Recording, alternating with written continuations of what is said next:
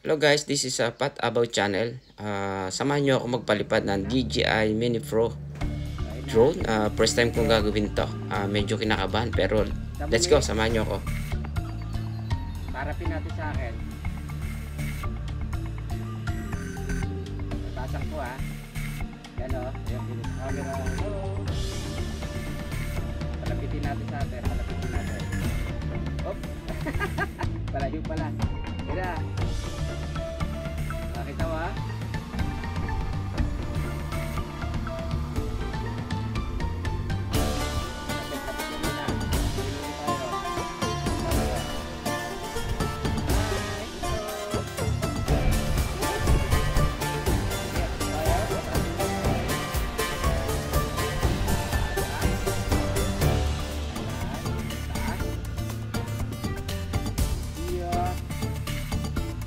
15 minutes.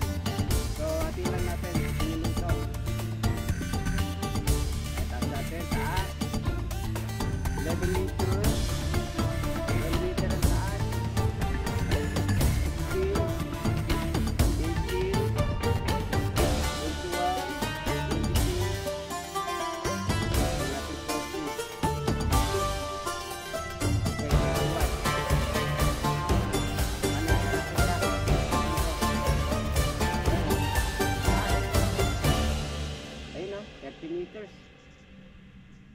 Siya, atras.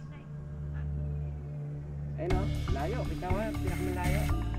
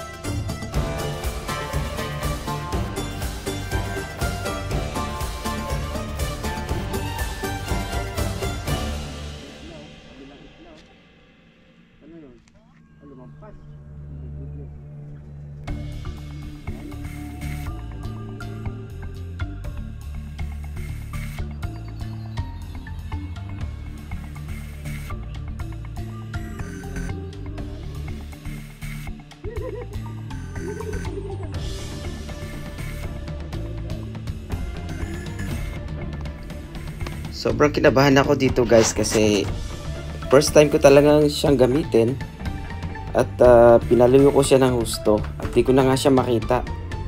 So, kinabahan talaga ako. Pag matakikita ko sa sa RC monitor ko. Pero yung drone, di ko na siya makita. Napapansin nyo, wala na talaga siya. Kinabahan ako dahil first time ko talaga. So, let's see guys kung ano mangyayari.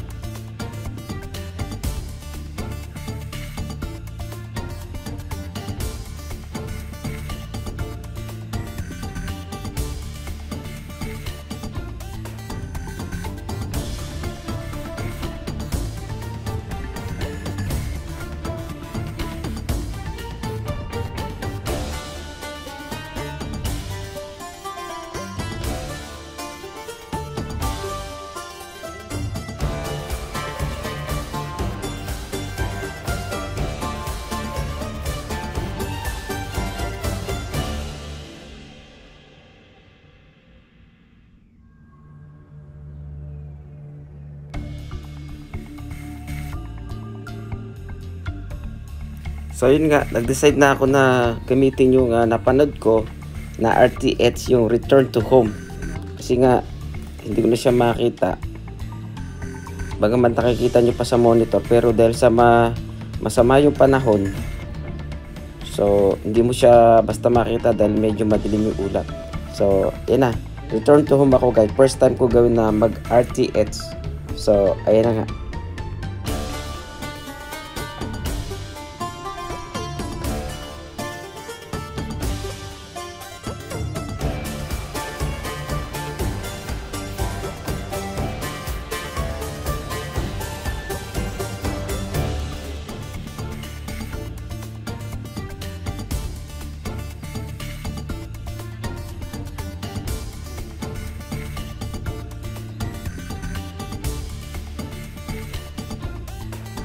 Tapos ang masama pa nito, ah, yung mga uwak. Dalawang uwak na sumusod sa kanya kasi 30 meters lang yung taas niya. So gusto ko pa sanang pataasin ba. Ah, pero kinakabahan pa ako. Siguro next time na lang. Pero awa naman ng Diyos kasi yung uwak. Yung lumbay naman siya dalawa. Kaya yan na nga.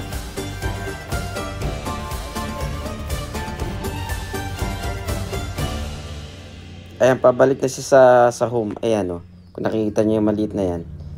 Ayan, pabalik na siya. At nawal- hindi na ako kinabahan dahil nakita ko na siya.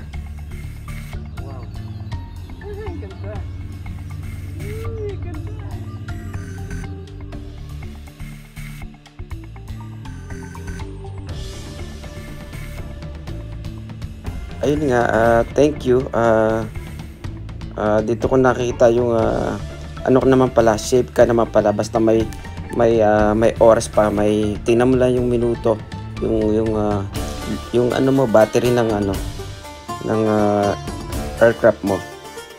So, then once na na-set up mo na siya sa RTX, so hindi ka kakabahan. So, babalik naman siya ng kusa. Thank you, yan.